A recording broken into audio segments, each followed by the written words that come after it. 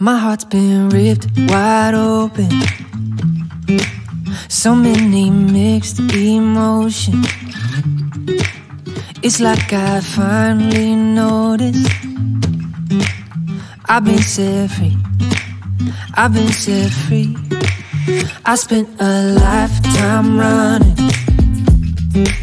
Fearing what I'd become if I playing goalie on all of my thoughts, yeah. Speaking out straight from my heart, but now I see. But now I see. Oh, I see this love is taking.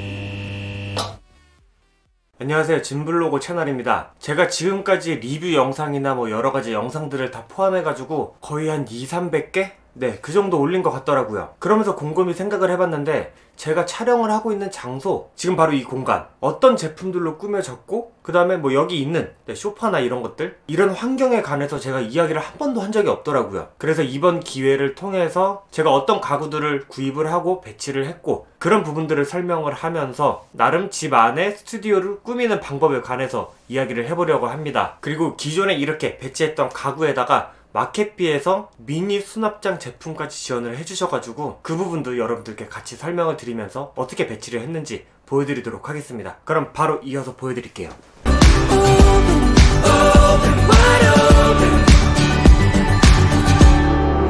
마켓비에 미니 수납장까지 조립을 해가지고 배치를 해봤습니다. 그러면 이어서 카메라를 들고 네, 하나씩 보여드리면서 어디서 구입을 했고 어떻게 배치했는지 보여드릴게요. 먼저 이 앞에 있는 이제 테이블. 테이블은 거의 막 보실 일이 없을 것 같아요. 리뷰를 진행할 때 제품을 막 개봉하고 그랬던 그 책상이 이제 테이블이거든요. 테이블이 원형 테이블로 되어 있는데 제가 이거를 구입을 어디서 했는지 찾아보려고 그랬는데 예전에 구입한 거라 구입 내역이 어딘지 모르겠더라고요. 그래서 간략하게 정보만 말씀드릴게요. 이렇게 생긴 원형 테이블이고 이 테이블 같은 경우 지름은 80cm입니다. 너무 작지도 않고 너무 크지도 않고 적절하게 활용할 수 있는 크기로 구입을 했었습니다. 그래서 이렇게 기둥은 하나로 구성이 되어 있다 보니까 일단 걸리적거리는 게 없어가지고 저는 마음에 들었습니다. 다음은 영상에서는 그렇게 많이 안 나왔었는데 항상 옆에 두는 의자가 하나 있었거든요. 그 의자는 블로그를 촬영한다거나 아니면 잠깐 끝부분 같은 거 나왔을 때 그때 사용했던 의자입니다. 바로 이 의자이고 라탄으로 되어 있는 의자입니다. 아마 어떤 제품인지 아시는 분들 많이 있을 거예요.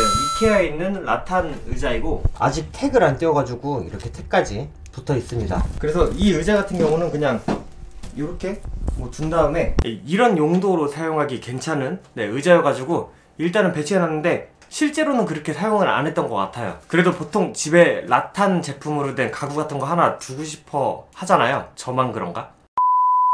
그래서 영상에 보이지는 않지만 이렇게 라탄 의자 이케아 거 구입을 하고 사용을 하고 있습니다. 다음은 가장 많이 보이는 쇼파. 네, 이 쇼파 같은 경우는 2인 쇼파이고 에보니아 회사의 루비 2인 패브릭 소파. 네, 네 가지 컬러가 있고 저 같은 경우는 네, 이렇게 회색깔, 회색깔로 구입을 했었어요. 그 위에다가 이렇게 천을 덮어가지고 조금은 다른 느낌을 주었고 이렇게 쿠션 있죠, 쿠션. 쿠션은 한 두 개 정도 이렇게 배치를 해가지고 약간 허전하지 않도록 이렇게 구성을 했습니다. 이건 그냥 모던하우스 가가지고 구입했던 걸로 제가 기억을 해요. 그 다음에 벽. 제 예전 영상을 보셨던 분은 아실 수도 있을 것 같은데, 네, 이렇게. 원래 마티스 엽서? 네, 그런 것들을 좀 구입을 해가지고 붙여놨었습니다. 그러다가 이제 최근에 한번 쭉 바꿨는데, 이쪽 엽서 같은 경우는 제 아내가 가지고 있던 엽서를 활용해가지고 옆에 있는 벽면에다가 활용을 했고요. 그 다음에 요거. 요거 조금 느낌 있죠?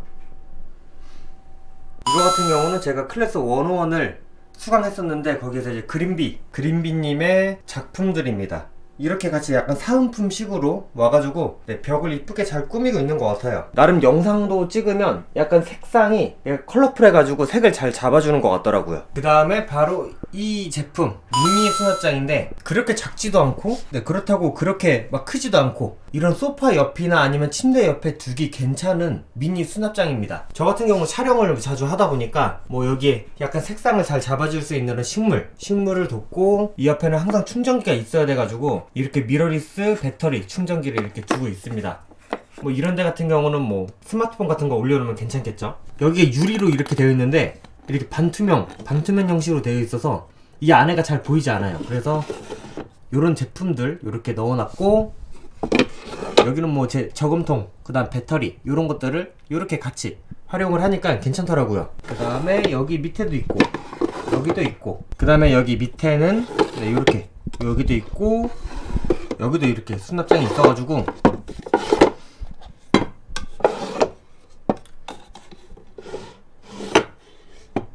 엄청 편리하게 사용할 수 있는 네, 그런 미니 수납장이었습니다. 다음은 여기 바닥. 바닥에는 이렇게 러그, 원형 러그를 하나 깔아놨어요. 이게 아마 1.5m? 네, 1.5m 정도 되었던 것 같은데 1.5m인가 2m인가 정확히 기억은 안 나요. 그래서 이거는 뭐 가성비 괜찮은 걸로 구입을 했고 네, 장모로 되어 있는 네, 러그를 구입을 했습니다. 그래서 대략적으로 이렇게 환경을 갖춰가지고 제가 영상 촬영을 하고 있습니다. 이렇게 오늘 영상부터 시작을 해가지고 네, 이렇게 꾸미는 것들 보여드렸잖아요. 뭐 기회가 된다라고 하면 앞으로도 여기에서 조금 조금씩 바꾸고 뭐 조금 조금씩 바꾸고 그런 부분들을 여러분들께 또 영상을 통해서 공개하려고 그렇게 구상하고 고민하고 있습니다. 카페처럼 꾸미고 싶으신 분들 아니면 저처럼 이렇게 나만의 작은 스튜디오를 가지고 싶으신 분들 그러신 분들은 제가 오늘 소개했던 그런 제품들을 보시면 가성비 괜찮게 그 다음에 퀄리티는 높게 구성하실 수 있을 것 같습니다 이렇게 해서 뭐 나만의 방 꾸미기 아니면 유튜브 스튜디오 만들기 컨텐츠를 마무리 해보겠습니다 오늘 말씀드렸던 그런 내용들 중에서 궁금한 점이 있다라고 하면 밑에 댓글